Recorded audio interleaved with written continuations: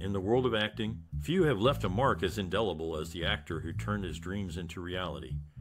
Born on January 26, 1925, in Shaker Heights, Ohio, he pursued his passion for the arts with unwavering determination. After serving in the Navy during World War II, he attended Kenyon College, where he discovered his love for acting. He later studied at the Yale School of Drama and the Actors Studio in New York City. The actor's breakout role came in 1956 with the film Somebody Up There Likes Me, where he played the lead role of Rocky Graziano. This performance catapulted him to stardom and solidified his place in Hollywood. Throughout his career, he graced the silver screen in numerous iconic films such as The Hustler, Cool Hand Luke, Butch Cassidy, and The Sundance Kid, and The Verdict.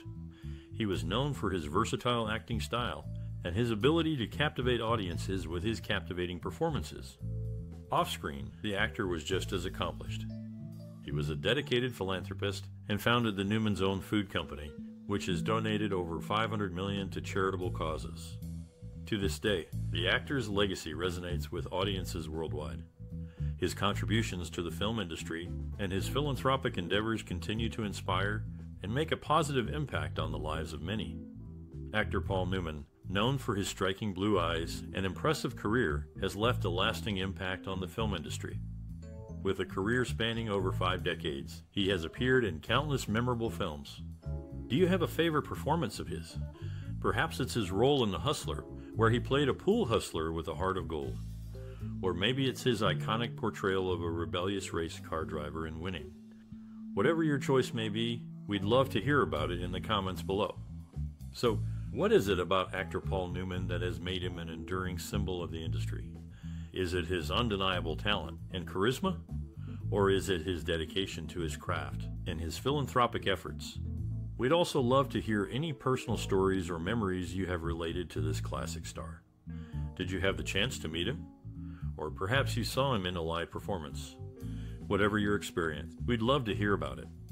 And stay tuned because we'll be sharing some fun, shocking, and even sad facts about actor Paul Newman throughout this video. So keep watching to learn more about this legendary actor. Born in Cleveland, Ohio in 1925, the actor's childhood was marked by a move to Shaker Heights, a suburb known for its progressive values. The actor's father, Arthur Sigmund Newmanisser, was a successful businessman who owned a sporting goods store. His mother, Teresa Fetzer Newman, was a homemaker with a passion for the arts. Growing up, the actor was exposed to the world of theater through his older sister, who was involved in local productions. This early exposure sparked an interest in acting that would stay with him for the rest of his life. The actor's path to stardom was not without its challenges. After serving in the Navy during World War II, he attended Kenyon College in Ohio, where he discovered a love for theater and starred in several college productions. However, he initially struggled to find work as an actor after graduation. It was during this time that the actor met two mentors who would have a profound impact on his career. The first was a fellow actor named Karl Malden, who encouraged him to continue pursuing his dream and introduced him to influential figures in the industry. The second was a director named James Whitmore, who cast him in his first professional role on Broadway. Throughout his career, the actor would continue to be influenced by a wide range of artists and activists, from Marlon Brando and James Dean to Martin Luther King Jr. and the Civil Rights Movement. These influences would shape not only his acting style, but also his commitment to social justice and activism the actor, widely recognized for his striking blue eyes, left an indelible mark on the film industry. Born in 1925, he served in the U.S. Navy during World War II before pursuing a career in acting. His breakthrough role came in 1956 with Somebody Up There Likes Me, where he showcased his talent and charisma. This film marked the beginning of a series of critically acclaimed performances, including The Long, Hot Summer, Cat on a Hot Tin Roof, and The Hustler. The actor's contribution to Hollywood extends beyond his on screen performances. He was a co founder of Newman's Own, a food company that donates all post tax profits to charity. This philanthropic endeavor has raised over 500 million for various causes. In the 1980s, the actor turned his passion for racing into a successful career as a professional driver, competing in numerous races and even winning several championships. He also established the Hole in the Wall gang camp, a non-profit organization providing free summer camps for children with serious illnesses. Despite his success in various fields, the actor remained humble and committed to his craft. He continued to act in films such as The Verdict, Nobody's Fool, and Road to Perdition, earning critical acclaim and accolades for his performances. In summary, the actor's influence on the film industry and beyond is undeniable. His talent, philanthropy, and dedication to his craft have left a lasting impact on Hollywood. Ever since the actor was a young boy, he had always been drawn to the world of performing. At the age of seven, he was cast as the court jester in his school's production of Robin Hood. This experience ignited a spark within him, and he knew that he wanted to pursue a career in acting. During his teenage years, the actor's passion for the craft only grew stronger. He would often put on shows for his family and friends, using whatever props and costumes he could find around the house. His family recognized his talent and encourage him to pursue his dreams. The actor's big break came when he was cast in a small role in a Broadway show. Although the part was small, he made the most of it and caught the attention of a Hollywood agent. This led to a screen test and eventually his first film role. From there, the actor's career took off. He became known for his rugged good looks and intense acting style. He starred in a number of successful films, including The Hustler, Cool Hand Luke, and Butch Cassidy and The Sundance Kid. Despite his success, the actor remained humble and dedicated to his craft. He continued to take on challenging roles and push himself as an artist. His passion for acting never waned, and he remained a fixture in the film industry until the end of his career. Throughout his life, the actor's love for performing never faded. He once said, I have never been bored in my life. Every day has been a challenge and a learning experience. It was this passion and dedication that made him one of the most beloved actors of his time. In the film Hombre, intense rainstorms presented significant challenges during production. To pass the time, the actor, Paul Newman, engaged in activities such as playing tennis, drinking, and having body conversations with his co-star Martin Balsam. In Cool Hand Luke, the cast included several notable actors. Among them were Paul Newman, who played the lead role of Lucas Luke Jackson, as well as three Oscar winners George Kennedy, Jo Van Fleet, and Dennis Hopper, who was an Oscar nominee. During the filming of The Silver Chalice, the actor and director Victor Saville had a disagreement over a scene that was eventually cut from the final film. In the scene, the actor's character, Basil, was to receive a divine revelation that inspired him to craft the chalice. The script included a lengthy speech for Basil to express his feelings, but the actor believed that it would be more effective if he simply contemplated the vision in silence. Despite his reservations, the actor felt pressured to follow the director's instructions, which he later regretted. Despite facing financial struggles early in life, the actor remained determined to pursue his passion for the arts. Born into a large family, he witnessed his father's business collapse during the Great Depression, which deeply affected him. However, instead of letting this hardship hold him back, he found solace in acting. As a young man, the actor faced skepticism from the industry. He struggled to find work and was often rejected due to his lack of experience and connections. But he refused to give up. Instead, he honed his craft by taking acting classes and performing in small theater productions. One of the actor's biggest breaks came when he landed a role in a television show. Although the pay was minimal, it provided him with the exposure he needed to gain the attention of filmmakers. He continued to work hard, taking on any role he could, no matter how small. The actor's resilience paid off when he was cast in a leading role in a major film. His performance was praised by critics and audiences alike, and he quickly became a household name. Despite his newfound fame, he remained humble and dedicated to his craft. Throughout his career, the actor faced numerous challenges but he always found a way to overcome them. He was known for his creativity and willingness to take risks, which helped him to stand out in a competitive industry. His story is a testament to the power of perseverance and the importance of following one's dreams, no matter the obstacles. In 2005, Premiere Magazine ranked the actor as the sixth greatest movie star of all time, highlighting his undeniable impact on the film industry. But acting wasn't his only talent. Few people know that he was also a skilled jazz and blues piano player, just like Clint Eastwood. A photograph exists, capturing him playing while Sammy Davis Jr. and Dean Martin sing, with Robert Mitchum and James Garner looking on. one of his most memorable roles was as Lucas Luke Jackson in Cool Hand Luke. His Best Actor Oscar nominated performance was not part of a Best Picture nominee that year, making it a unique achievement in the annals of Hollywood history. The actor's portrayal of Luke Jackson remains a classic example of his exceptional talent and ability to bring complex characters to life on the big screen. After serving in the Navy during World War II, the actor enrolled in Kenyon College with a focus on drama. His passion for acting led him to study at the Yale School of Drama and the Actors Studio in New York City. A significant breakthrough moment for the actor came in 1953 when he appeared in his first professional stage production, Picnic, on Broadway. His performance caught the attention of Hollywood, and he soon signed a contract with Warner Brothers in 1956. The actor starred in the film Somebody Up There Likes Me, which earned him critical acclaim and solidified his status as a rising star.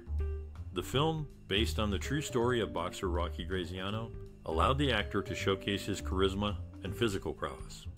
One of the actor's most iconic roles was in the 1961 film The Hustler, where he played Fast Eddie Felson, a pool hustler with a troubled past. His performance was highly praised by critics, and he received his first Academy Award nomination for Best Actor. In 1967, the actor starred in Cool Hand Luke, a film that became a cultural phenomenon and cemented his status as a leading man.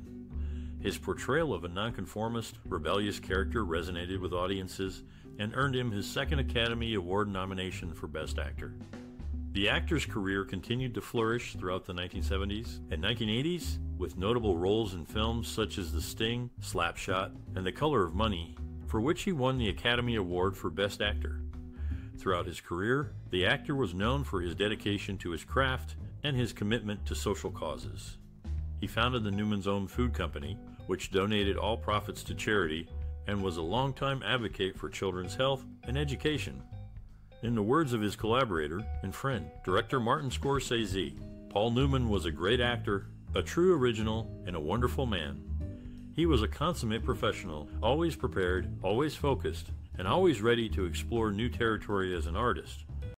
After finding success in the film industry, the actor was known to visit the Ralph Helfer Africa USA, exotic animal ranch in Soledad Canyon, California regularly during weekends. He enjoyed helping with chores and interacting with the animals. One of the actor's notable roles was in the film The Towering Inferno, where he played Doug Roberts.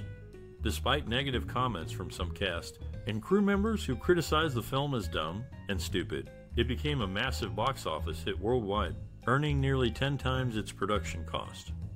The actor and his co star, Steve McQueen, received a substantial sum from the film's earnings as they were given a percentage of the box office gross. In June 2002, the actor returned to Live Theater after 35 years, appearing in Thornton Wilder's Our Town at the Westport Country Playhouse near his Connecticut home. He took on the role of the stage manager and directed the show with his wife, Joanne Woodward, serving as the Playhouse's artistic director at the time. To help subsidize the Playhouse, which is located next door, the actor opened a restaurant called Dressing Room with co owner and chef Michael Nischan in Westport. The actor, known for his piercing blue eyes, was born in 1925 and developed an early interest in acting. However, it was his experience in the military that truly shaped his worldview. After serving in World War II, he returned home with a newfound appreciation for life and a desire to make a difference through his work. This perspective was reflected in his approach to acting, which was characterized by a deep commitment to his craft and a dedication to portraying complex, nuanced characters. He once said, I have to find some truth in what I do, or I can't do it. That's the only way I know. This dedication to authenticity was evident in every role he played, from the tough as nails boxer and somebody up there likes me to the cool and calculating pool shark in The Hustler. The actor's personal experiences also influenced his work behind the camera. He produced and directed several films, including Rachel, Rachel, and the effect of gamma rays on man in the moon marigolds, both of which explored themes of personal growth and self discovery. These films were praised for their sensitivity and emotional depth, reflecting the actor's own values and worldview. In addition to his work in film, the actor was also known for his philanthropy. He founded the Newman's Own Food Company which donated all of its profits to charitable organizations. This commitment to giving back was a reflection of the actor's belief in using his platform for good and it has left a lasting impact on countless lives. Overall, the actor's unique approach to acting was characterized by his dedication to authenticity, his exploration of complex themes, and his commitment to making a difference in the world. His work continues to resonate with audiences today, serving as a testament to his enduring talent and impact. In 1975, the film The Eiger Sanction was initially designed for the Actors Showcase. However, the project took a different direction when the actor declined the lead role in Sorcerer two years later, which was then offered to Roy Scheider. A notable example of the actor's humility is seen in the movie The Towering Inferno, where his name and Steve McQueen's are cleverly staggered in the opening and closing credits, as well as on the posters.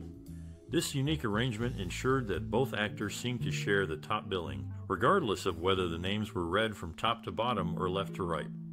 This strategy was also being considered for Butch Cassidy and The Sundance Kid in 1969, but McQueen eventually dropped out and Robert Redford took his place. This anecdote illustrates the actor's respect for his peers and his willingness to share the spotlight, further highlighting his professionalism and modesty in an industry often criticized for its egocentric nature. The actor's career is marked by such considerate gestures and a genuine passion for his craft. The actor, renowned for his striking blue eyes, made a significant impact in the film industry. His career spanned over five decades, with his first film role in 1954. According to Richard Schickel, a film critic and historian, he had an extraordinary sense of presence, both on and off screen. The actor's contribution extended beyond his on screen performances. He was a race car driver, a philanthropist, and an entrepreneur. His charitable work, particularly the creation of the Newman's Own brand, which donates all profits to charity, is a testament to his generosity. In terms of acting, the actor was known for his versatility. He excelled in various genres, from drama to comedy, and his performances were often marked by a certain coolness and charm. His work in films like The Hustler, HUD, and Cool Hand Luke remains iconic. The actor's influence can be seen in the trends and techniques of subsequent generations, his naturalistic acting style, which contrasted with the more theatrical styles of earlier actors, became increasingly prevalent. As director Martin Scorsese noted, he was a pioneer in terms of method acting, he brought a new kind of realism to the screen. Moreover, the actor's off screen persona, marked by his activism and philanthropy, also had a significant impact. As actor and director, Ed Harris noted, he was a role model not just as an actor, but as a human being. In conclusion, the actor's contribution to the film industry, his philanthropy, and his influence on subsequent generations make him a significant figure in the history of American cinema. In The Mackintosh Man, actor played Reardon in a movie with similarities to Escape Route. The plot had Roger Moore in actor's role and Donald Sutherland in Bannon's role. Eric Mason had small parts in both the movie and the television episode. The story involves outsiders helping prisoners escape, likely inspired by real world events like the prison breaks of Ronald Biggs and Charles Wilson in 1965. In Butch Cassidy and The Sundance Kid, actors saw George Roy Hill's desk in half over an unpaid liquor bill. For the role in WUSA, actor researched by spending time at radio station KMPC in Los Angeles with Ken Levine, who later worked on MASH, showing him around. Outside of his acting career, the actor had a rich personal life. He was a family man, married to his second wife, Joanne Woodward, for 50 years until his death in 2008. They had three daughters together and adopted a son. The actor was also known for his love of auto racing and even founded his own racing team, Newman Haas Racing, in 1983. He was a skilled driver and competed in numerous races throughout his life. But perhaps what the actor will be most remembered for is his philanthropic efforts. He was passionate about various causes, including the environment, education, and children's health. In 1982, he established the Newman's Own Foundation, which donates 100% of its profits to charitable organizations. The actor was also involved in various other philanthropic endeavors, such as co founding the Hole in the Wall Gang Camp, a summer camp for children with serious illnesses. He was a strong advocate for social justice and even testified before Congress in support of legislation to protect children from lead poisoning the actor's personal values and interests often informed his work as an actor. For example, he starred in the film Hud in 1963, which explores themes of morality and the corrupting influence of power. The actor's own values as a champion of social justice may have informed his portrayal of the character Hud Bannon, a ruthless and immoral rancher. In addition, the actor's love of auto racing inspired his performance in the film Winning in 1969, in which he played a race car driver. The actor's own experiences as a driver likely contributed to the authenticity of his performance. Overall, the actor's personal life and values were deeply intertwined with his professional career his philanthropic efforts, love of auto racing, and commitment to social justice all informed his work as an actor and left a lasting impact on the world. In the film The Prize, the actor arrived on a Boeing 707 that had a notable history. This was the actual Pan Am aircraft that had brought the Beatles to New York for their American debut in 1964. During the filming of The Life in times of Judge Roy Bean, the actor made an unexpected appearance at a Dublin bar named Judge Roy Bean's. Upon entering, he revealed to the patrons that he had played the role of Judge Roy Bean. The barman mentioned a nightclub above the bar called Lily's Bordello, and the actor immediately recognized Ava Gardner's image on the poster, exclaiming that she had played Lily. The actor played the character Lou Harper in the film Harper, which was the first of four movies he made with Strother Martin. The other films were Cool Hand Luke in 1967, Butch Cassidy, and The Sundance Kid in 1969, and Slapshot in 1977. Reflecting on the actor's legacy, it's clear that he left an indelible mark on the industry.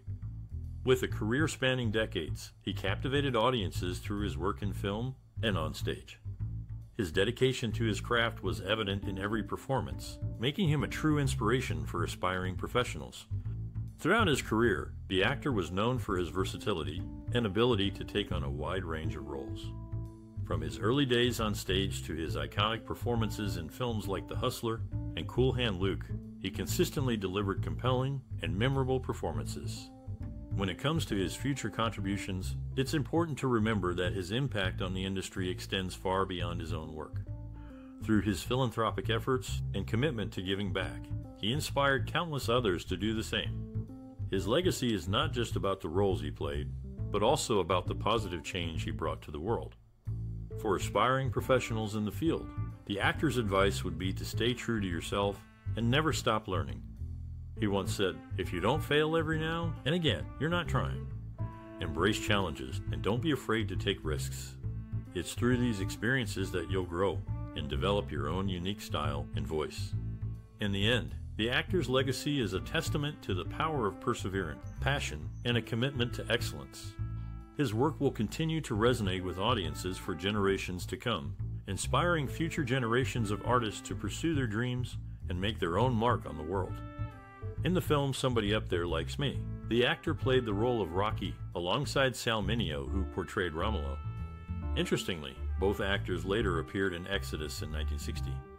The making of this film was a unique experience for the actor, as he noted that it was unlike working in Hollywood where Grips played poker with no idea what the movie was about.